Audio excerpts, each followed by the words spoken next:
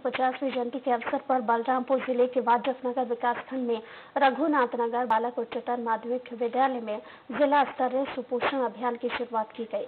Collector ने बताया कि पूरे छत्तीसगढ़ में ये सबसे कुपोषित जिला है, जहाँ पर ज़िले का सबसे ज़्यादा कुपोषित विकासखंड बाड्रफ नगर है।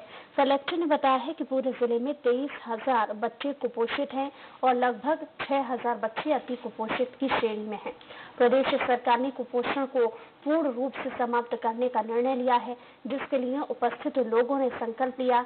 इसके बाद कुपोषित बच्चों को पौष्टिक भोजन कराया गया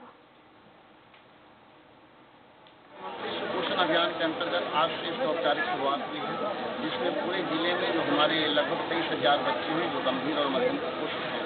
उन लोगों को आंगनबाड़ी के आहार के अलावा अतिरिक्त पुष्टाहार देने की योजना है। जिसमें हर आंगनबाड़ी केंद्र में सुपोषण केंद्र बना करके और उनको आहार दिया जाएगा, साथ ही उनकी नियमित निगरानी की जाएगी, साथ ही उनको जागरूकता फैलाने के लिए, उनको जागरूक करने के लिए, हेल्थ हाइजीन सैनिटेशन के बारे में उनकी जागरूकता बढ़ाने के लिए समन्वित सामुदायिक प्रयास किया जाएगा।